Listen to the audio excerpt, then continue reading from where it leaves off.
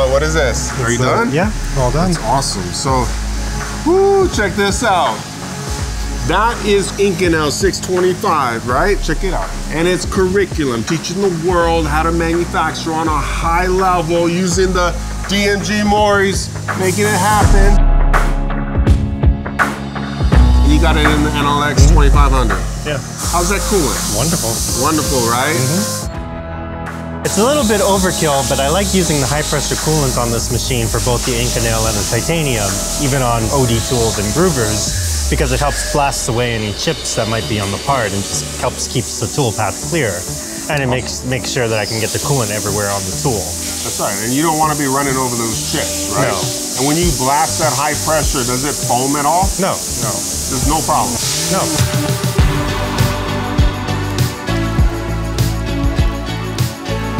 Machining on a high level, the materials are very complex.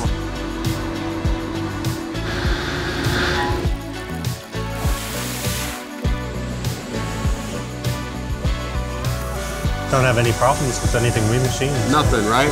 And it's all about breaking that chip. And coolant, or the liquid tool, is very important. And that in itself is one of the reasons that I'm so high on the Synergy 735.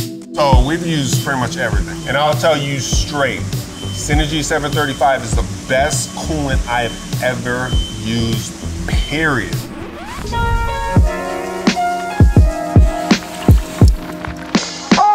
Oh, what's up, Stuart? Hey, what's up? Synergy 735. You actually used to come to my office years back, mm-hmm. and you have scars on your arm.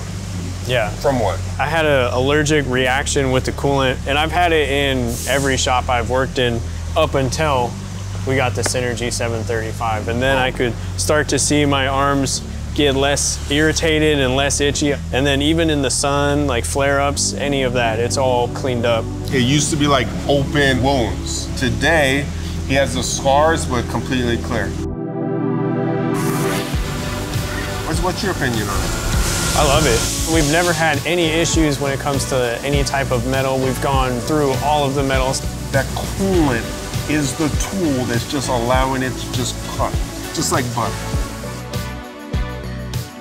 Yeah, and our coolant has lasted longer too, in terms of even when we needed to top it up. It's been staying at its full level in the tank for Absolutely. longer. And now we have like 19 machines that we're running Synergy in. Yeah. So now that you're using 735, would you go mm-hmm. back to the milk? Do you No. want the milk raining down on you? Never. Never, right? No. Clear coolant, crazy. That's the whole point here.